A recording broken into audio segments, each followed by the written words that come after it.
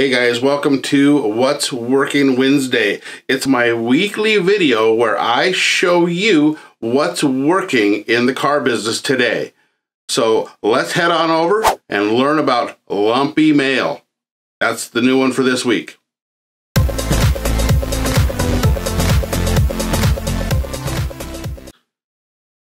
Okay, in this video, I'm gonna go a little bit old school.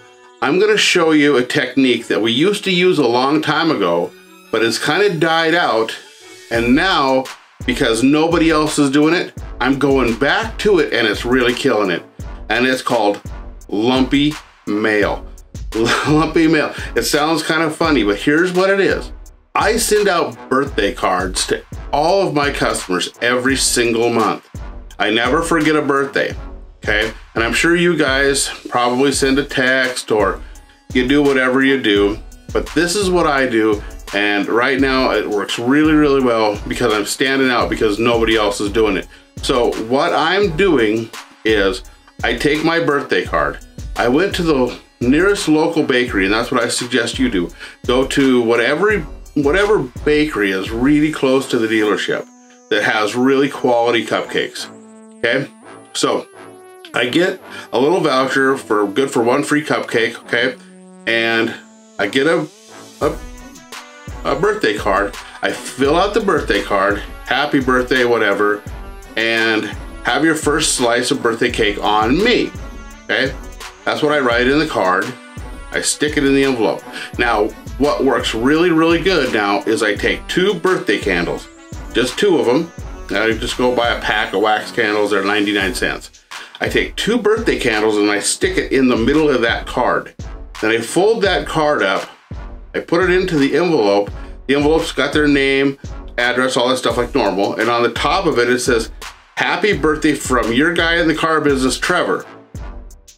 I seal it up and I send it out.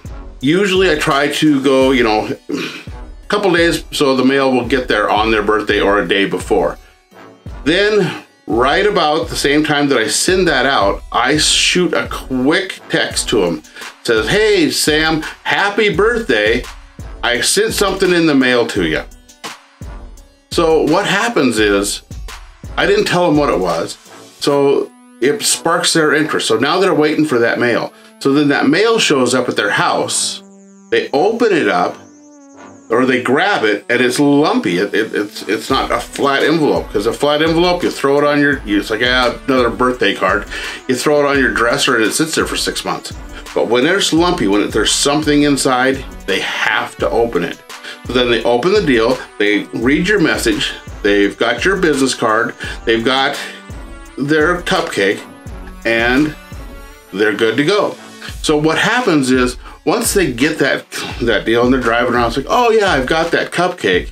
Well, it's really close to the dealership, right? Like the bakery that I use is literally oh two blocks away.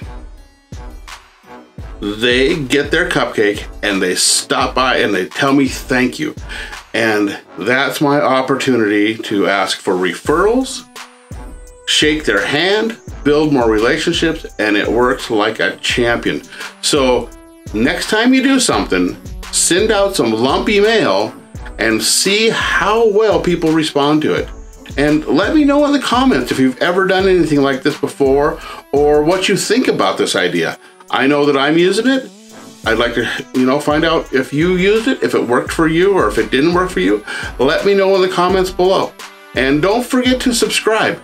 I try to put out a new video every week where I'm trying to find something that's working really good for me. I test a lot of stuff and I'm going to share it with you. So till next Wednesday, have a great day.